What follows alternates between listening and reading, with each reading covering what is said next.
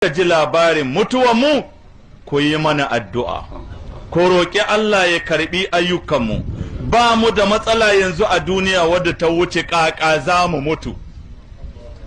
Na biyu Allah ya karɓa ko bai karɓa ba wallahi wallahi ba mu sani ba.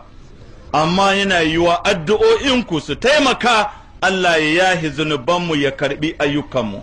Wallahu a'lam. Wa sallallahu wa sallama ala nabiyina